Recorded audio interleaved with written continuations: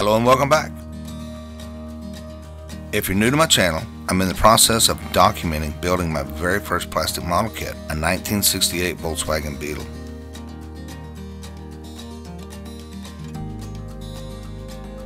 We're finally ready to add some color to this little guy, and I could not be more excited.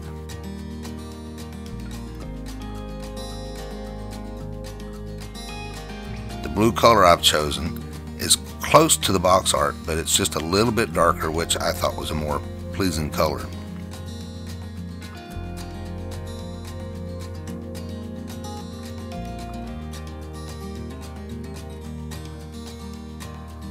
Getting to this point took some time and a bit of effort. After building the spray booth, I spent several hours practicing using an airbrush. Beyond researching airbrushes in general, I also studied the history of and how they evolved, which was very interesting. In particular, I found Paul Budzik over at Scale Model Workshop to be a great resource, and I'll put a link to his series down in the description.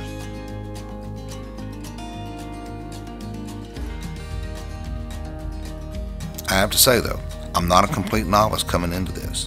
I do have a working knowledge of how an airbrush works from my grandfather who taught me how to use and maintain a spray gun for restoring old cars. While I found the techniques similar, they weren't exactly a one-to-one -one match, so it did take a little time to become comfortable enough to decide to actually put paint on the model itself.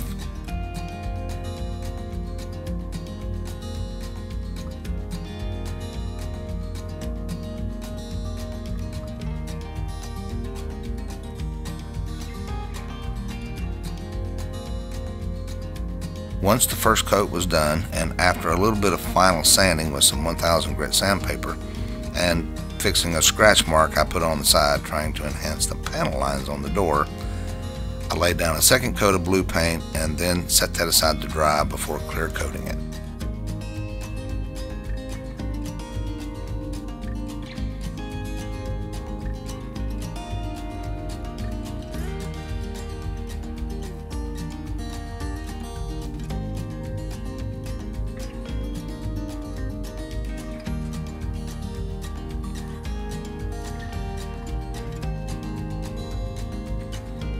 Thought I did a decent job fixing the scratch, but we'll see how it goes when we do the clear coat.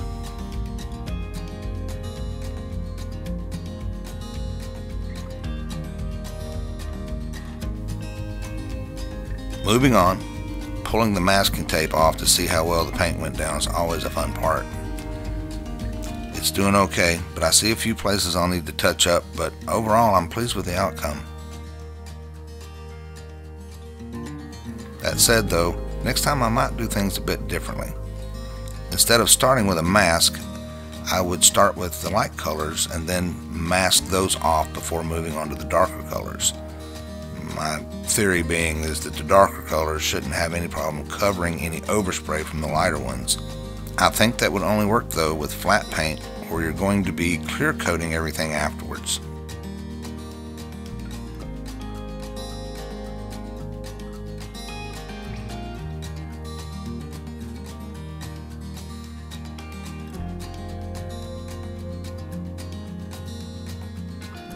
The masking tape I'm using is just standard hardware store painter's tape.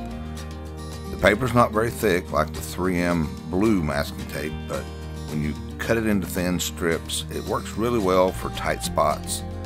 And so far, I've not had any paint bleed under the edges, although I've not been putting a lot of heavy stuff on it so far.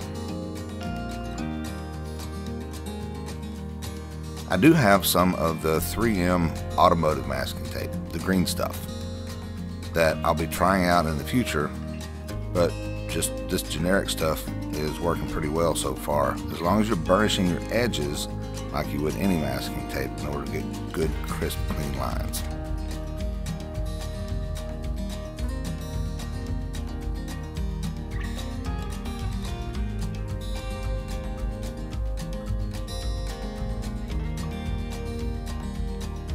Moving on to the interior, door panels, front and back seats will be white, so once I have the door panels masked up again, we'll get out the airbrush and finish up those.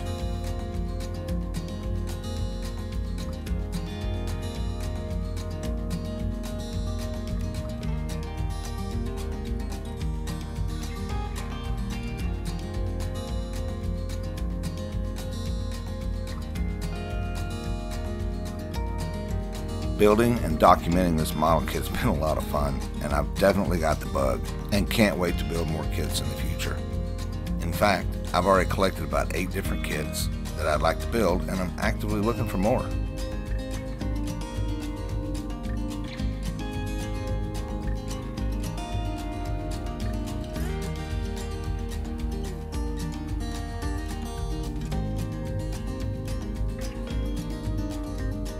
You like what you're seeing so far, I'd really appreciate it if you gave the video a thumbs up and, and consider subscribing.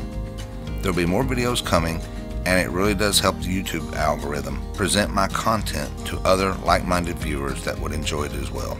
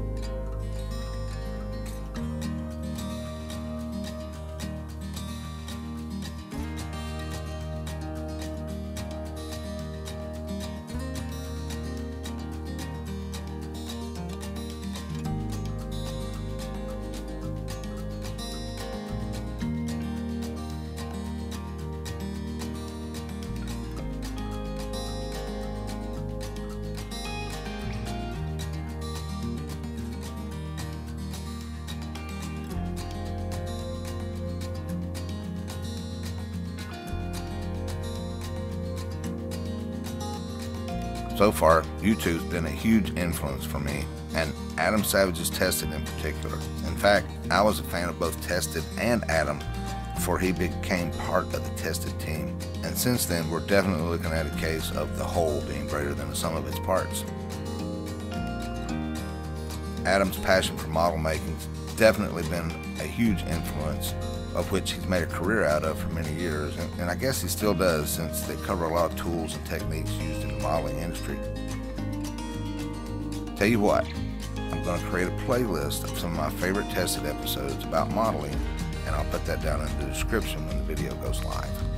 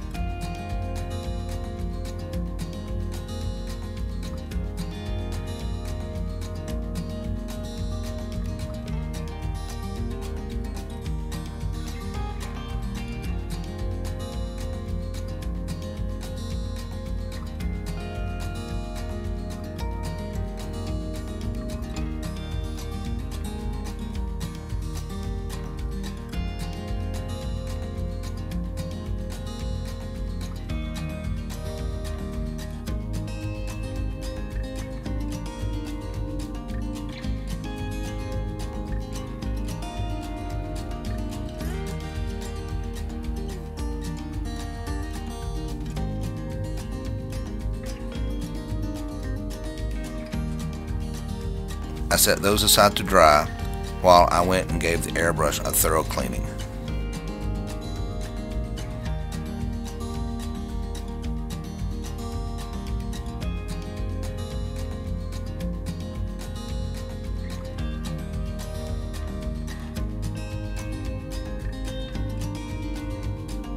Once they were dry, I unmasked the door panels for a second time and I'm seeing a few places I'll need to touch up, but overall I'm pleased with my first outing airbrushing a plastic model kit.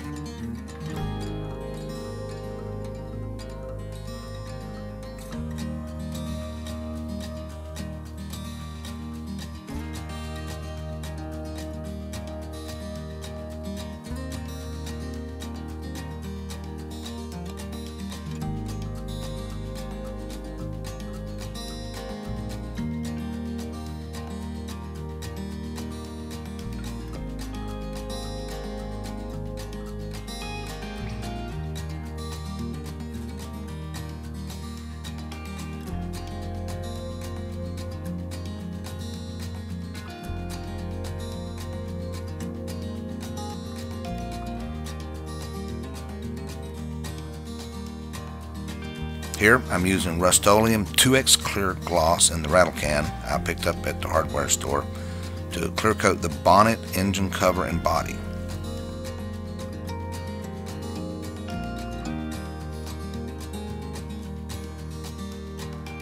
I did end up with a little too much on the bonnet and it started to run, but I think I caught the worst of it by rotating it around so that it didn't beat up into a big grip. Once it had fully dried, it wasn't as noticeable as I feared, but I still knew it was there and was a bit peeved about that. And that was another lesson learned, or I should say relearned. Less is more when you're spraying paint.